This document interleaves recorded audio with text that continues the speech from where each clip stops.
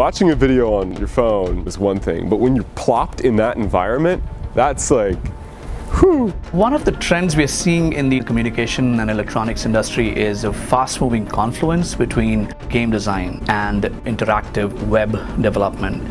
So some of those techniques are starting to merge in becoming what's now called VR. When I found out that there was this experimental VR class at you know Hofstra, I'm like, okay, I have to try this out. I wanted to try to play with a lot of the new cutting edge equipment that publications like the New York Times or outlets like AP are using on a daily basis. Virtual reality storytelling is a course designed to introduce students to basic concepts about what virtual reality storytelling is about, to introduce them to some of the tools for creating VR as well as for distributing it on a variety of outlets. I'm working with a couple of classmates on this um, experience where you're in some kind of room that has toys and all over the floor and you just see this coloring book on a table and it takes you into another world. Part of the push in, uh, in storytelling and the nonfiction story world is how quickly the journalism and documentary community adapted to this environment. The ability to bring stories from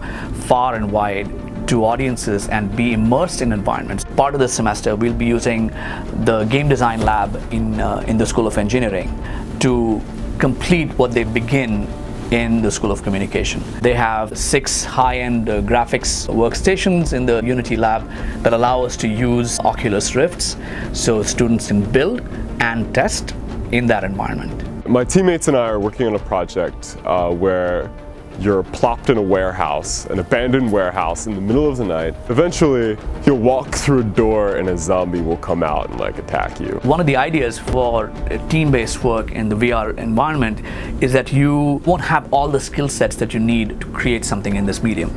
So I'm putting people together who have skills in graphic design, who are editors. I was surprised that people with different um, backgrounds um, could work well with this kind of technology. I thought it would be too complicated, um, but we're all learning together. This class expanded the amount of possibilities that I see. My idea of like how to tell a journalistic story is different. It's so strange and complex, but it, that's also what's so fun about it.